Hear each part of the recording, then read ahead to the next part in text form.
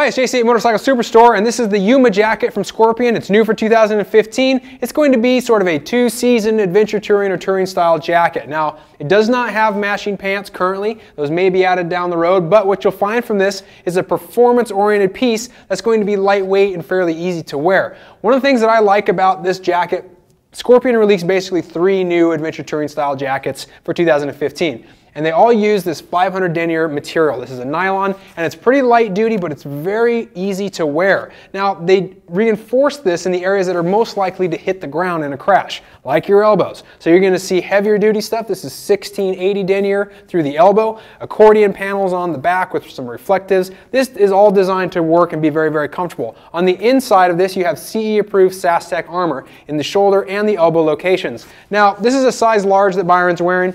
Uh, it fits in very well. This is what he would order. I want to make one note. When you pull the liner out, because it does have a windproof and waterproof liner inside, it'll be a little bit looser. You're going to need to suck this jacket in a little bit, so they make this volume adjustment strap up here on the bicep. It does not have one on the forearm, so it's got a little bit of a freer feeling uh, forearm. Also, take a look at this. This is that liner system poking through, but it does have a thumb cuff. That's going to help keep that wind from getting up inside. Now, we talked about the, the, the, nylon materials out here. You can see some more around the pockets, but most of the chest material, this is all the mesh. It's a 250 denier polyester mesh. So it's going to get a lot of airflow coming through this.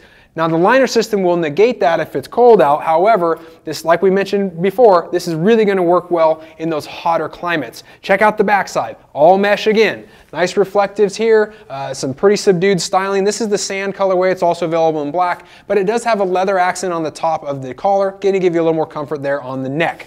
Now there's a cargo pocket down here which I really like, give you good storage along the base here and as we move back to the front you'll see along the sides dual adjustment straps. This is going to be located on both sides so you can get a little bit closer fit. Also when the liner comes out you'll be able to suck it down a little bit more. So the cargo pockets here, there are no hand warmer styles. It's pretty straightforward in terms of storage options on this jacket. Now on the inside, Here's the liner we were talking about. This is the windproof, waterproof, very easy to remove. Underneath you do have some pockets, so there's some additional storage in there, and of course the mesh liner that's going to keep it from sticking to your body when you're hot and perhaps sweating on the motorcycle.